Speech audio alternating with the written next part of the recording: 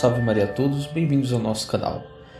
Um dos símbolos do fracasso do socialismo está acusando membros da Igreja Católica e do Brasil por terem feito um golpe de Estado na Bolívia.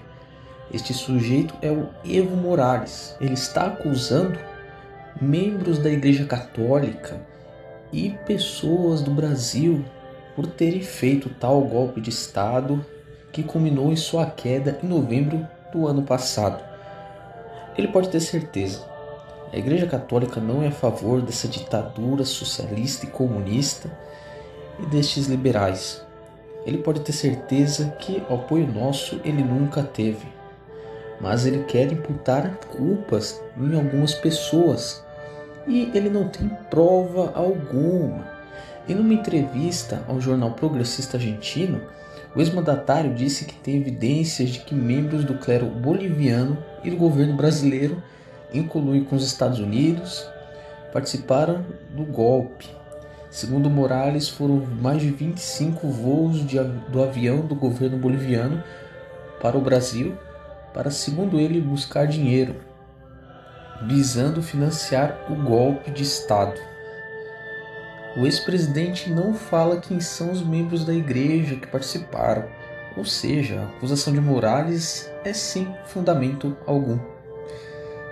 A igreja sempre busca articular um plano de paz, pedir para que essas pessoas aí que seguem socialismo, comunismo e demais ditaduras se convertam, larguem esta ideia de Estado errônea que levam consigo isto seria pedir por um golpe, ir armado às ruas, etc., e o derrubar?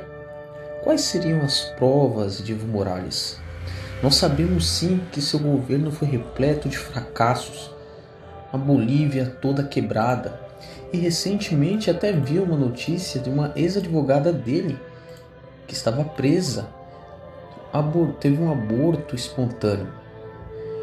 Evo Morales é um canalha, faz jus como todo líder que segue sua ideologia, ideologia nefasta, que a igreja também fala muito contra. Tentou encher o saco do Papa, a China. Evo Morales quer achar um culpado. Evo Morales viver livre do socialismo.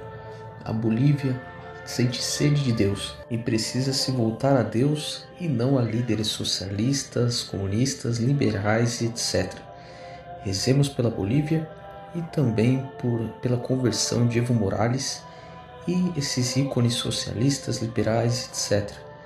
Deus nos ensina que devemos rezar por nossos inimigos, ainda mais quando se encontram nestes erros absurdos de ideologias apóstatas. Compartilhe esse vídeo, se inscreva no nosso canal e acesse o site do Observatório Católico, qual eu tirei esta notícia. Deus abençoe a todos, Maria sempre. São José de Anchieta, ora pro nobis.